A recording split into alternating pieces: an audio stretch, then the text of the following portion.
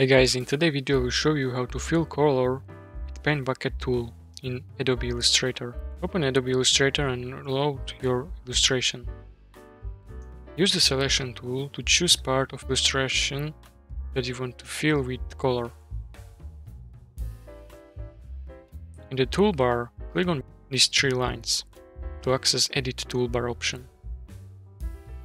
Find and add Live Bucket tool Alternatively, you can toggle it in using the K key. With the Live Paint Bucket tool select it, go to Properties panel.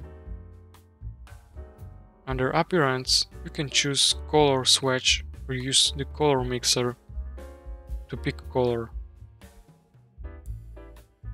Click on the part of illustration you selected, and it will be filled with chosen color.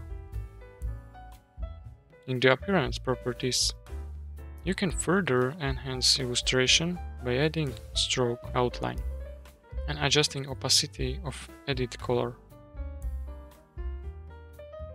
For complex illustration, repeat the process to fill different part with various colors. Fine-tune your illustration by adjusting colors, strokes and other properties until you achieve desired look. And once you are satisfied with coloring, save your work.